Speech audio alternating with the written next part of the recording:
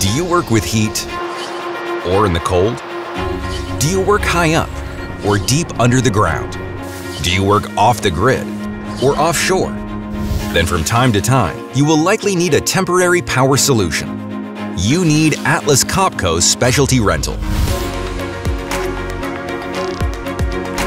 More often than not, your energy demand does not look like this. No, chances are your energy demand fluctuates like this. You have two options to deal with such a fluctuating energy demand.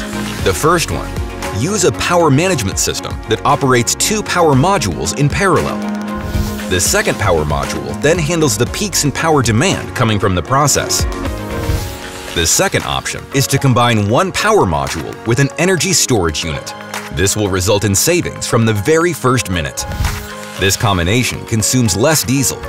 It also limits your carbon dioxide emissions and this setup produces less noise on your production site.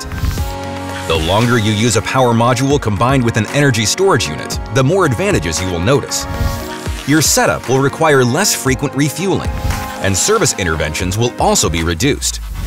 Don't believe us, believe the numbers. These are the results of a comparison test we conducted of both options on an actual production site. The combination of a power module with an energy storage unit resulted in fuel savings of 14%. Refueling actions were cut by 25%. The customer enjoyed a significantly more silent operation. On-site service actions were reduced by 33%. The hybrid setup emitted 14% less carbon dioxide than a diesel-driven power plant. The conclusion is clear. Swap that second power module for an energy storage unit and watch your savings and the benefits for the environment add up.